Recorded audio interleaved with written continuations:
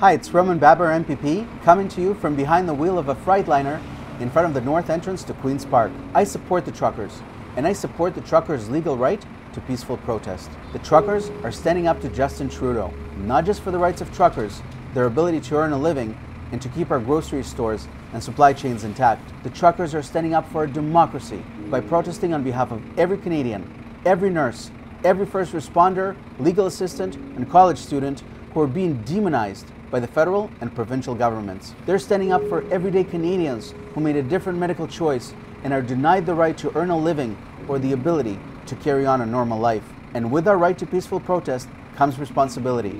So I call on the truckers to keep on rolling, stand up for Canadians, stand up for our democracy while keeping it safe and legal. Join me at joinroman.ca and keep on trucking.